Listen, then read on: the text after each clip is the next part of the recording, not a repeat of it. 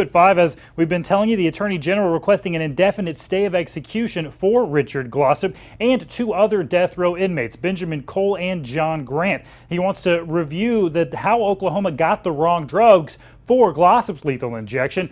In the court document outlining these stays, the Office of the Attorney General says it needs to evaluate yesterday's events and what happened and how the Corrections Department got that incorrect drug. He says his office is working quickly but gave no timetable on how and when he will have those conclusive answers.